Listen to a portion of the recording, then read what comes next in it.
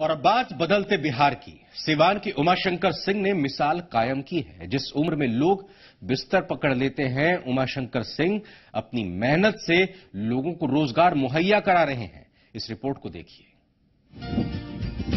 ज़िंदगी में पचासी बसंत देख चुके, सिवान के ये बुज़ुर्ग है उमाशंकर सिंह, जिनकी काया भले कमज़ोर हो चुकी है, लेकिन इनकी बदौलत आज दर्जन भर महिलाओं को रोज़गार मिला हुआ है।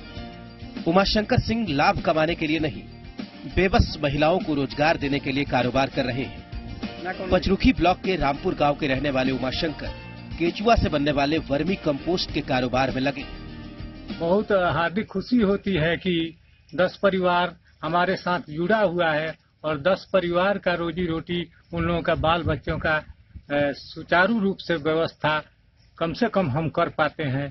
ये हमारी उपलब्धि के रूप में हम इसको मानते हैं। गाँव की आंगनबाड़ी सेंटर में सहायिका नूरजहां खातून के मुताबिक उनका गुजारा आंगनबाड़ी से होने वाली आमदनी से नहीं होता।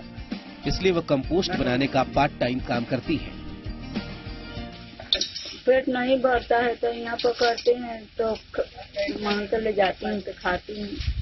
वहाँ पर छह महीना पर मिलता है तो गौ से पेट भरता है। नहीं भरता है। छह महीना पर, एक महीना के, दो महीना के तनख्वाह मिलता है। गाँव में कंपोस्ट प्रोजेक्ट शुरू कर उमाशंकर सिंह बेहद खुश हैं। किसी ने शायद इन्हीं के लिए लिखा होगा, मंजिल उन्हीं को मिलती है, जिनके सपनों में जान होती है। पंखों से कुछ नहीं होता, हौसलों से उड़ान होती है। आकाश, जी मीडिया, सिवान।